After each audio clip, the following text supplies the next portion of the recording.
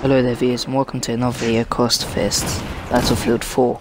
Today I bring you another tactical gameplay video me and my squad mates trying to capture um, a rooftop which has a very good view overlooking Charlie Road.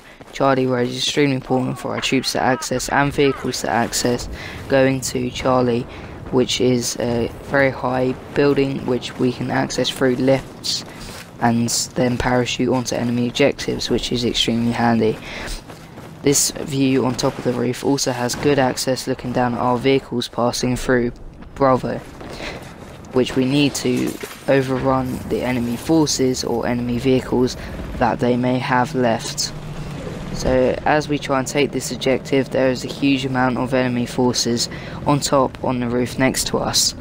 Then now they try and parachute down to take this objective so that they can use their snipers to take out our troops and also get their engineers down there so they can take out our vehicles. Obviously we're, we're putting up a good fight and we make sure that they don't get to this. We do lose it in the end but then we it's nearly the end of the game so it doesn't really matter and we've able to hold it off for pretty much over half of the game.